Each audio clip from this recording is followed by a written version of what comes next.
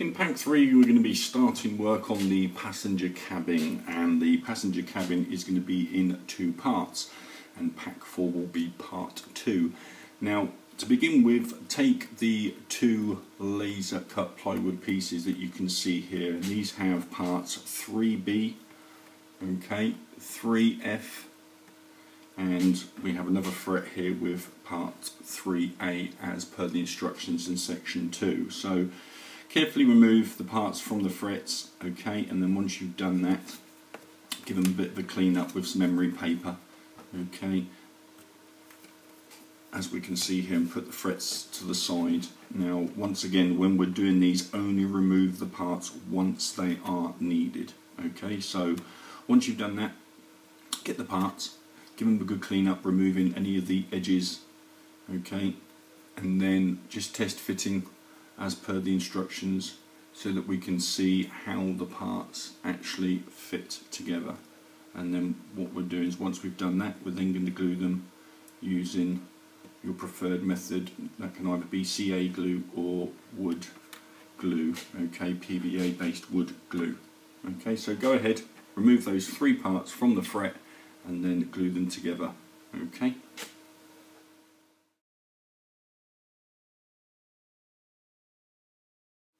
Now, take a right angle, just make sure that everything's at 90 degrees, okay, before the glue dries. And then once you're happy with that, take part 3G from the fret. And then once again notice the position okay? And then fit that as per the instructions in the first slot from the other parts that we've just fitted so just test fit that. And you'll notice that that will go in that position like so. Once you're happy with that glue that into position. And then once you've done that continue with the remaining frets which are 3M, 3J, 3O, 3L and 3I. Okay, and then once we've done that we'll come back to part 5 on the instructions of page 39.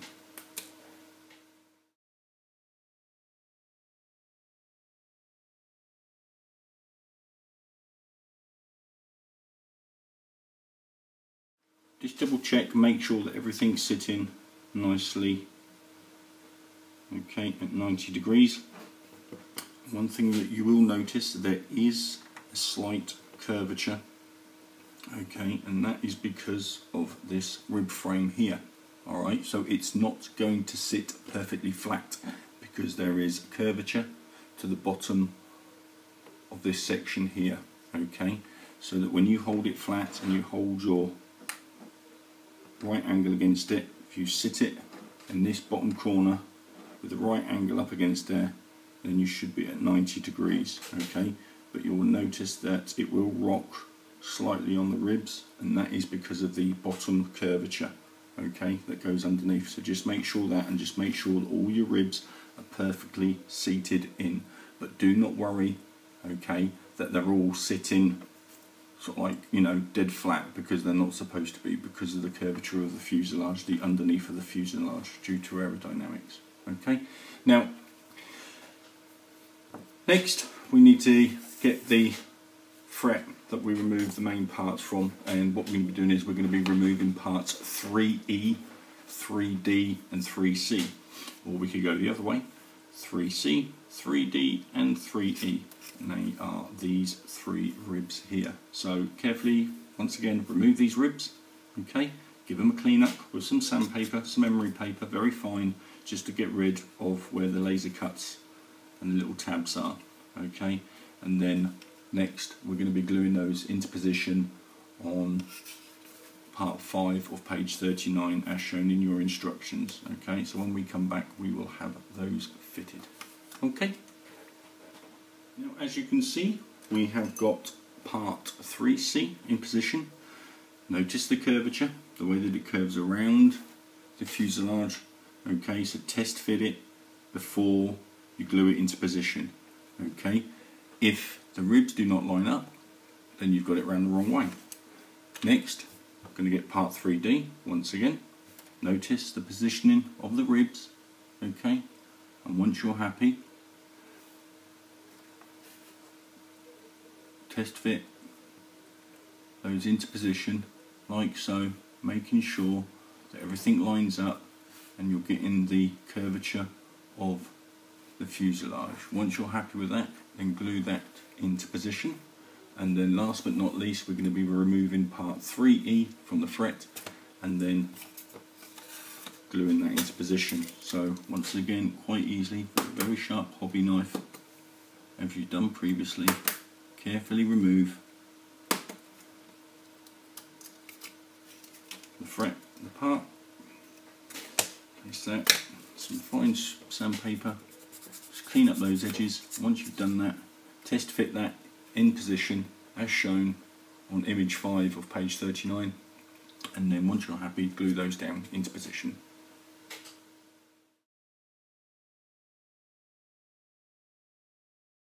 Okay, once you've done that and that's dried, remove the final three pieces from the fret and they are parts 3H, 3K and 3N and then glue those into position as shown on step 6 of page 39. Okay, so taking part 3N making sure that we've got the right part because it will be longer. Test fit that into position. Once you're happy with that, glue that into place and then once again do exactly the same with the other parts. Okay?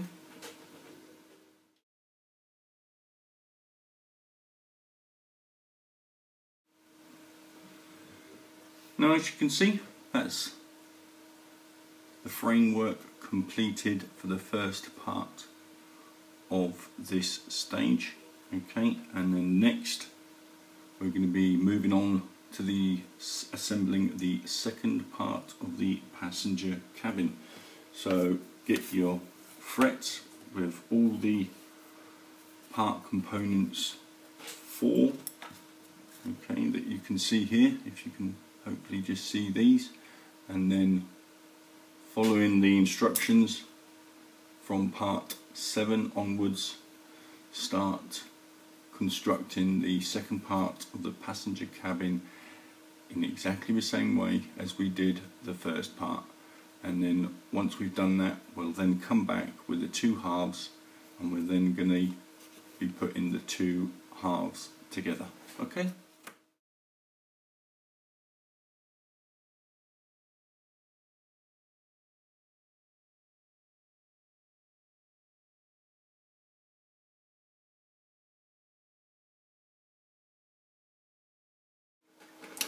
Now, as you can see here, if you follow the instructions, we've now gone from steps 7, 8 and 9 by placing all the ribs for the rear part of the passenger fuselage. Okay, now obviously we've still got a little bit more to do with these by putting a lot of the assembly around here. Okay, um, so that when we come to finishing off we're going to be gluing these two halves together like so. So next we're going to continue with stage or part 10 on page 40 of your instructions and we're going to be putting the strengthening ribs along these sections here as we did with the previous half section. Okay. Okay, now as you can see, we've got the main horizontal ribs which are 4E, 4D and 4C in position. And next we are going to be fitting the ribs that go in between which consist of 4H which goes here and 4K then 4N, and then 4Q. Once we've done that, we're then going to be getting some of the 2mm diameter bamboo dowel that was supplied with pack 2 from the previous pack and we're going to be putting them in the location holes on the end. Okay, so just look at the photographs and the instructions on parts 10 and 11 and then we'll come back to part 12 on page 40 of the instructions where we join the two halves together. Okay.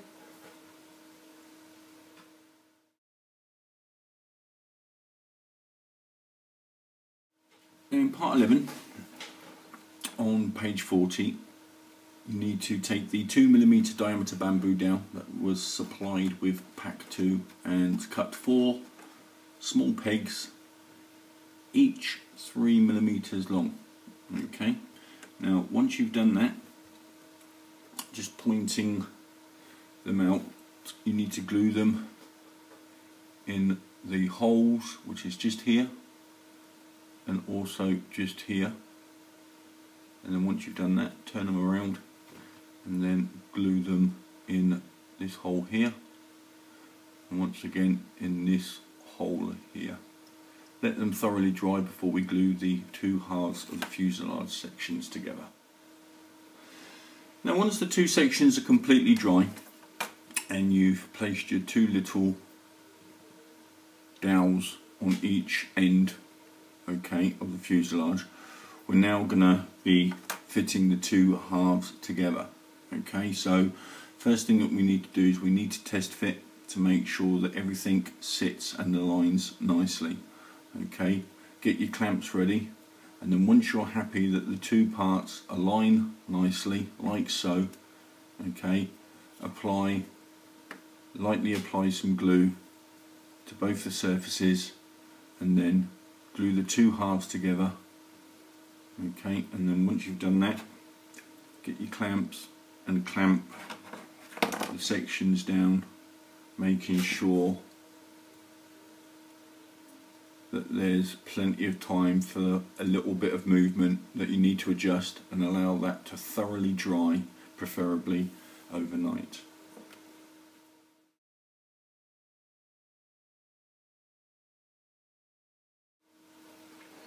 Now once that's thoroughly dried and you've got the two sections together, remove part A1 from the fret and as you can see here, glue that into position. Okay, once you've done that, then tie, take part A2 as shown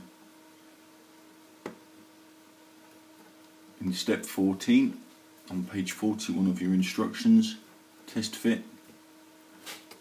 And once you're happy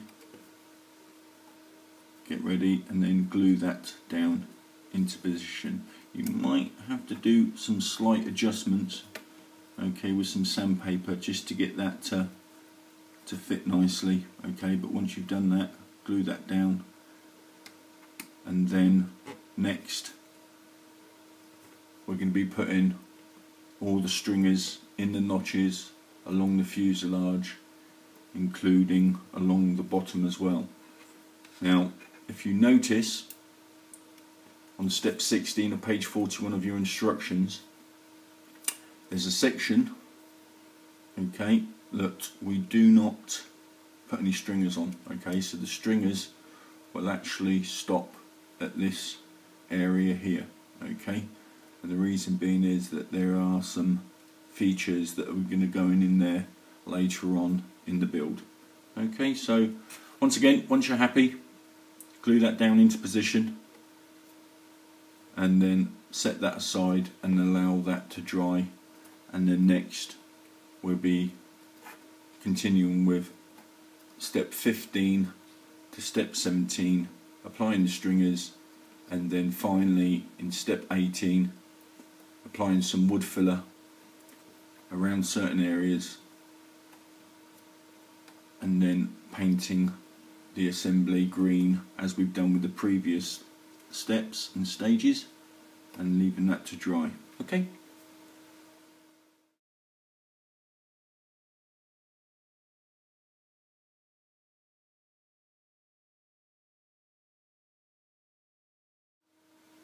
Now take your fuselage half that we constructed earlier and get some super glue, get a toothpick and get a plastic bag and then put a tiny small amount of super glue on the plastic bag.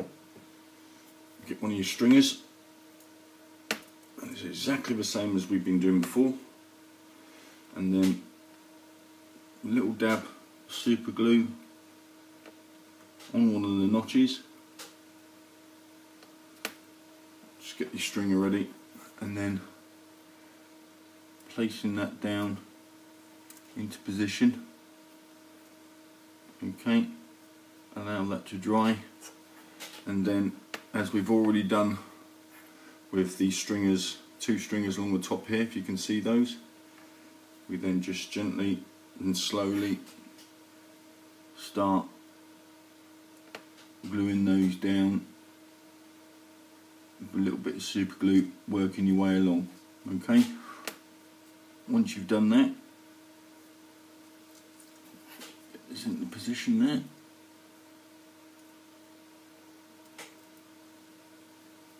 Once you've done that get that to stick.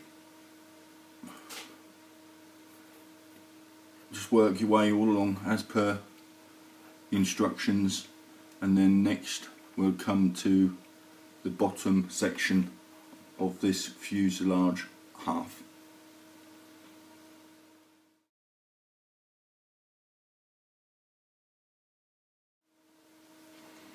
Now as you can see we've added the stringers to the outside of the fuselage half and we've also done along the bottom as well making sure that these two areas here there's no stringers and the reason for that is because you've got the die cast parts that came with this pack that are going to be going in there later okay? Now the only thing you need to do okay with the stringers is you've got two more stringers that go on the inside okay? And that's obviously to help support the lining. So do those and once you've done those last two stringers get it primed up with some wood primer and then paint it green as we've done before with the same colour as we've done with the crew compartment. Now once you've fitted all the stringers as per the instructions you should be on step 18 of page 41 of the instructions and you should have your fuselage passenger half that looks like this okay. Once that's all done put that aside and then later on we'll be adding some more details in future steps